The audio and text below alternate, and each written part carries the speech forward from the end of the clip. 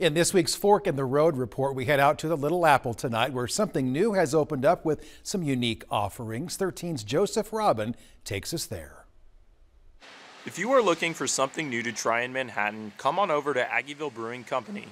Owner Ryan Emily got into brewery when he was young and wanted to provide a different, unique option for the Flint Hills region. After opening with frigid temperatures, the new brewery was still something people wanted to try.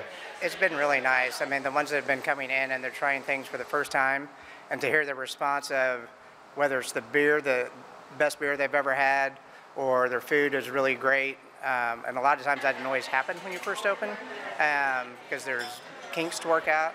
Uh, but it seems like we kind of got past all that. But everybody, the guests have loved their experience with the atmosphere, food, beer, service, the whole nine yards has been really great.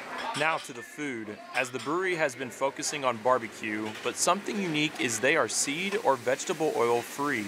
Just kind of putting a spin on the classic pub fare items, but doing it in a uh, a little more unique way. Uh, the brisket's definitely been a fan favorite, as well as uh, all the burgers. Um, we have a smoked salmon dip that uh, it's definitely definitely been very popular as well. Many community members have seen it driving by and are attracted to give it a try. We've been driving by, saw it was uh, open, wanted, been wanting to stop by. Uh, first impression, everything looks great. Uh, the beers are good so far just getting started on the meal. We've had an appetizer. It was fantastic.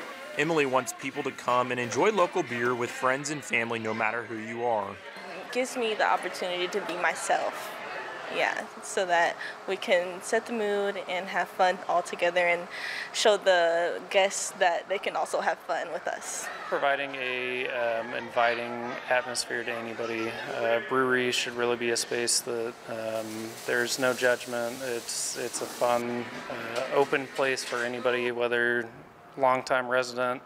Uh, student or somebody visiting visiting from out of town, everybody feels like they're a local and, and they're welcome and um, invited back here. In Manhattan, Joseph Robin, 13 News. I think that brisket looks pretty tempting, doesn't it? Aggieville Brewing Company can be found at 612 Pillsbury Drive in Manhattan. You can find their hours on our website, WIBW.com. We'll get a final look at the evening.